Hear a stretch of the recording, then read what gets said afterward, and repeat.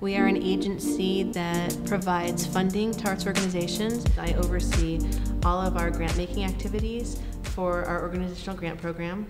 We serve about 400 arts organizations in LA County, and we distribute $4.5 million a year in their two year grants. This is all of your money. All of us pay into having these services that we can make accessible to all people here, which means that all residents have access to cultural arts and the expression of really who we are as people.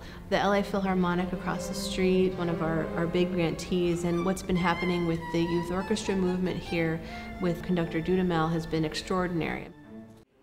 We also have LA Opera. We also have dance at the Music Center, which is really reviving what dance can be locally. The LA County Museum of Art, LACMA, is another one of the county facilities, as is the Natural History Museum. We're also really funding the small, little organizations, small dance companies, little theaters, 99 seat theaters, or the little bookstores where you're binding your own books and working with students after school. The public art that's on the side of the Hall of Records, that was part of our public art.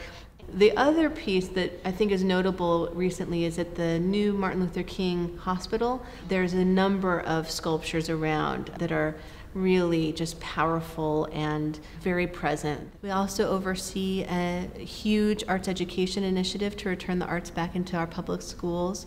And then we also have a series of other productions like the Holiday Celebration, which honestly, if you have not been to the Music Center on December 24th, you should go or watch PBS because it's a six hour festival of music for the holidays that we produce every year.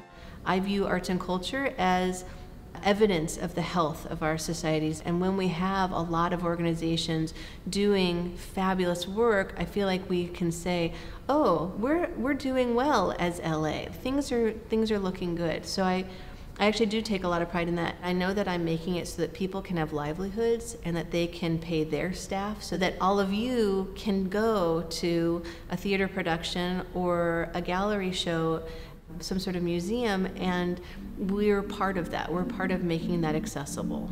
That's what I love about this work.